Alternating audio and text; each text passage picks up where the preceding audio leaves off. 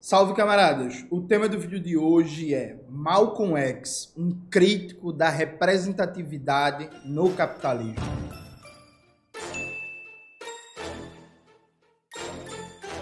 Antes de começar propriamente o tema do vídeo do canal, quero muito agradecer a você que ajuda a manter e melhorar nosso canal a partir do Apoia-se.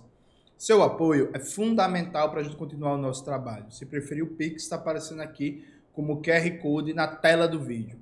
Note, esse mês vou participar de uma atividade muito importante do ICL sobre Malcolm X, né, no Novembro Negro. Bota na tela, Maxwell, o banner, por favor. Gente, atividade é gratuita, é online, de graça, aberta para todo mundo. Se inscrevam, compareçam à aula, vai ser muito massa, ser muito importante. A gente vai ter uma aula com o maior especialista em Malcolm X do mundo e eu e o cantor, rapper, poeta, artista, foda, referência, Gog, vai estar lá participando também e talvez venha surpresas por aí. E aí, veja, quando a gente fala de Malcolm X, tem umas paradas que são engraçadas, né? É, às vezes, às vezes, uma época histórica se sobrepõe à textualidade das palavras. O que eu quero dizer com isso? Veja, o Malcolm X era um crítico implacável da ideia de representatividade. Implacável, duro, duro, duríssimo, duríssimo. Assim, em alguns momentos, inclusive, até sectário demais. Para o final da vida, antes de ser assassinado, ele até mudou um pouquinho a perspectiva dele. Mas veja, a gente sabe disso. Todo mundo que acompanha a obra de Malcolm X, todo mundo que já leu seus discursos, que já leu seus textos, que leu sua autobiografia, que viu o filme, por exemplo, do Spike Lee sobre o Malcolm X com Denzel Washington, que não é um filme tão bom, mas tem coisas ali que são bem fidedignas né, do que era o pensamento do Malcolm X, sabe disso. Mas na nossa época histórica, a ideia de representatividade é muito forte, né?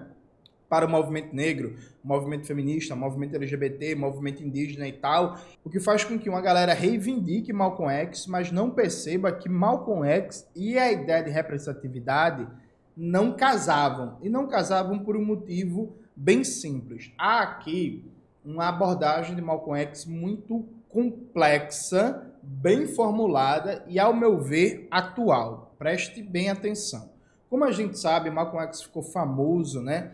Nos Estados Unidos e mundialmente, quando ele era membro da Nação do Islã, do Elid Mohammed, e a teoria do racismo do Malcolm X tinha um caráter teológico e político, né? Se compreendia que o homem branco era a criação do demônio e que o homem negro era a imagem e semelhança de Alá, e o sistema racista nada mais era do que uma expressão do domínio do mal, do homem branco, do demônio. Isso como um fundo teológico. Só que Malcolm, para além da teologia islâmica que estava ali inscrita no pensamento da nação do Islã, Malcolm articulava um pensamento que é básico e ao mesmo tempo Malcolm fazia isso de maneira brilhante, que era, ó oh, bicho, nenhum sistema de dominação existe se não tiver aliado entre o grupo dominado. Por uma questão bem simples e objetiva, tirando situações como, por exemplo, imagine que você tem um país que você tem é, um povo indígena que é, sei lá, 1% da população e que o país, no geral, é um país com um nível de renda bom, de, de, de igualdade socioeconômica boa, e só aquele povo indígena é o povo mais miserável. Nesse tipo de situação, dá, dá para se manter um sistema de dominação sem que você tenha aliados entre o grupo, entre o grupo oprimido, né? Só que isso não é o padrão histórico, né? No geral, os padrões de dominação políticos estabelecidos são de minorias, e aí minorias economicamente dominante, politicamente dominante, militarmente dominante, que conseguem dominar maiorias. Seja, por exemplo, no feudalismo, os senhores feudais frente aos camponeses, seja no escravismo clássico, é, entre os senhores de escravo e os escravizados, seja no escravismo colonial no Brasil, em que a imensa maioria da população era população negra escravizada, indígena e mestiça, né? E a elite colonial branca era uma minoria muito pequena, seja no capitalismo, que a classe trabalhadora é a maioria e a burguesia, os bilionários, são a minoria da minoria. Então a tendência histórica, a tendência histórica é você ter minorias política, econômica e militarmente e ideologicamente dominantes que conseguem estabelecer né, um padrão de dominação e reproduzir ele. Só que esse padrão de dominação, para ele se reproduzir historicamente, porque ele é ativado de acordo com os interesses objetivos de uma minoria, ele precisa cooptar, ele precisa trazer para o grupo dominante como aliado subalterno pessoas do grupo oprimido, né? majoritário. Então é muito comum, toda. A gente vive isso diariamente, né, gente? A galera dizendo que se você trabalhar, você vai conseguir sim ficar rico. É pegando o exemplo de um suposto ambulante que depois virou um grande comerciante e ficou milionário. É, exaltando um exemplo perdido aqui ali de um jogador de futebol, de um cantor. Se você se esforçar, se você acordar cedo, se você trabalhar muito, você consegue vencer na vida. A ideia de vender a ilusão de que dentro do sistema, como ele está posto, você consegue sim ascender, você consegue sim melhorar, você consegue sim alcançar o mesmo status do que aquele dominante que você admira. Essa é uma ideia recorrente em todo o sistema e com racismo não seria diferente, né? Então veja, acho que todo mundo aqui que já viu Malcolm X, alguma coisa Malcolm X, sabe da metáfora que o Malcolm X fazia entre o negro da plantação e o negro da casa, né? Essa metáfora de Malcolm X, gente, é uma metáfora contra a representatividade. É Malcolm X dizendo assim, gente, olha, esse negócio de buscar uma condição melhor na escravidão, esse negócio de ó, buscar um bom tratamento do senhor, isso não é liberdade, isso não é emancipação, isso não é uma conquista coletiva para o povo. A ideia de que algumas figuras vão poder pô, vão ter até um emprego legal, vão fazer um curso superior, vão ter um, um emprego de destaque, vão ser CEO da empresa, vão ser apresentadores da Rede Globo. Não, pode acontecer, só que o grosso da população negra vai continuar explorada, oprimida, marginalizada, empobrecida, sofrendo todo tipo de violência. Então o Malcolm X ele passa o tempo inteiro, o tempo inteiro, o tempo inteiro fazendo metáforas contra o que seria hoje a ideia de representatividade. Inclusive, veja, tem muita gente que não sabe. A galera coloca assim: ah, o Malcolm X e Luther King foram líderes do movimento dos direitos civis. Veja, gente, isso não é bem verdade, viu? O Malcolm X ele manteve uma distância, uma distância do movimento dos direitos civis porque o Malcolm X entendia que era um movimento que pedia integração à sociedade racista estadunidense. E o Malcolm X falou assim: eu não quero ser integrado à sociedade, eu quero destruir o sistema racista. Claro que a ação do Malcolm X contribuiu de maneira importante, predominante, fantástica para a organização da população negra, para o aumento do radicalismo negro, para chamar atenção para o racismo, para denunciar o sistema de Jim Crow, mas não é bem verdade, não é teoricamente exato que o Malcolm X fosse um líder do movimento dos direitos civis, como se ele concordasse com aquela ideia de que ó, a gente precisa tornar a democracia burguesa dos Estados Unidos verdadeiramente democrática, acabando com a segregação. A ideia do Malcolm X é acabar com a segregação dentro de um processo político de acabar com o sistema racista. O Malcolm X, depois que rompe com a nação do Islã, o Malcolm X passa por muitas mudanças no seu pensamento, se aproxima, inclusive, de vários líderes teóricos socialistas, marxistas, passa a ter uma aproximação cada vez maior com organizações dos trabalhadores e trabalhadoras dos Estados Unidos. O Malcolm X ele não vira socialista. Atenção, isso já foi explicado no vídeo do meu canal, a filosofia política de Malcolm X. Coloca aí na tela, Max, por favor. Um vídeo da época que eu tinha um cabelão. Malcolm X não vira socialista, mas há uma clara aproximação teórica, política ali. E o Malcolm, ele relativiza um pouco o elemento discursivo. Porque, veja, para o Malcolm, por exemplo, da época da Nação do Islã, quem fez curso superior, quem se formou, quem tem um emprego estável em espaços é, majoritariamente brancos nos Estados Unidos, já era um traidor, já era domesticado, já era o negro da casa. E aí o Malcolm X vê que não é bem assim, que não é por aí que a banda toca, que é importante, inclusive, no processo de organização do movimento antirracista, que tem, assim, negros e negras que tenham se formado em direito, em medicina, que sejam engenheiros, que sejam jornalistas, que tenham até algumas posições relativamente importantes como professor universitário. Enfim, Malcolm X vê que é importante ter quadros políticos com uma formação formal e em certas posições estratégicas. Então, antes, para o Malcolm X, ver um jornalista negro num jornal majoritariamente branco ou ver uma mulher negra professora universitária era a prova que é um negro da casa, se adaptou ao sistema, que foi domesticado e depois ele vê ó, que não é bem assim, não é por aí, é importante. Então, o Malcolm X ele muda um pouco a compreensão tática que ele tem em relação a isso. Agora, uma coisa que ele nunca muda é a ideia de que, ó, o que, que é representatividade? Representatividade é necessariamente você alcançar alguns postos dentro de uma ordem, de um sistema político econômico. Para o Malcolm X, não existia possibilidade de acabar com o racismo a partir da representatividade. Simplesmente, simplesmente o Malcolm X, até o momento que ele foi assassinado, para ele era muito claro que, ó, embora o Malcolm X passe a considerar muito importante, sim, trazer para o movimento antirracista pessoas nessa pessoas negras nessa posição, o Malcolm X continua com a ideia de que, ó, a gente não vai enfrentar o racismo, a gente não vai enfrentar o poder burguês branco, a gente não vai enfrentar o imperialismo estadunidense ampliando a representatividade. Não é assim, ah, Vamos fazer com que tenha cada vez mais negros nas universidades, no Congresso, nas prefeituras, no governo do Estado, na mídia burguesa, na, nas instituições privadas, da sociedade civil. E aí a gente vai criar uma mudança dessas instituições por dentro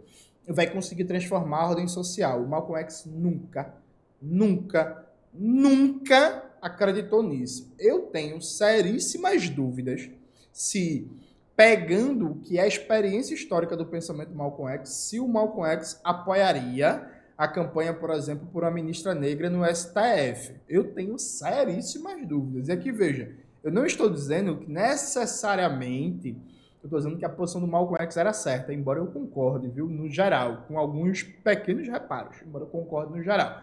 Agora, veja, era a posição do Malcolm X, então é importante vocês saberem que era a posição do Malcolm X o Malcolm X não era um fã da representatividade, que o Malcolm X, inclusive, tinha certeza absoluta que a representatividade não acaba ou enfraquece o racismo e que o Malcolm X entendia que a representatividade pode, inclusive, ser usada como arma de cooptação da ordem dominante para enfraquecer um movimento de resistência, um movimento com potencial revolucionário, que foi basicamente o que aconteceu, por exemplo, no sindicalismo brasileiro, né, gente, nos últimos 30, 40 anos, né?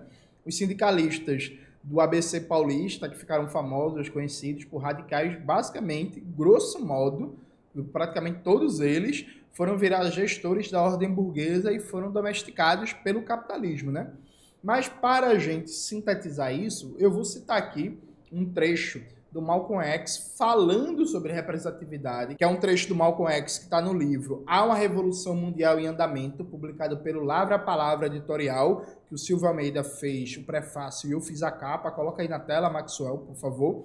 Esse livro é um livro com discursos do Malcolm X pós-ruptura com a nação do Islã, então já é tipo, o, entre aspas, último Malcolm X, o Malcolm X com uma pegada muito menos teológica na sua filosofia política, o Malcolm X muito mais radical, muito mais revolucionário, muito mais anticapitalista, muito mais antiimperialista, um Malcolm X que faz ah, algumas mudanças importantes na sua compreensão do que é a luta antirracista, mas vamos ver aqui o que é que o Malcolm X diz, vou colocar o texto na tela para vocês lerem, né?